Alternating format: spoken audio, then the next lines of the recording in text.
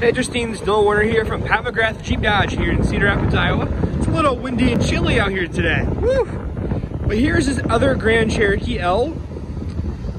Like I said, just the only difference is just those rims and rim size and color. Well, not really color, but just different size. But yeah, everything else is very, very similar. Just the difference is the rims and tires here. Go ahead and show you inside here. Adaptive cruise control heated heated seats, heated steering wheel, black interior as well, and you have the massive panoramic sunroof.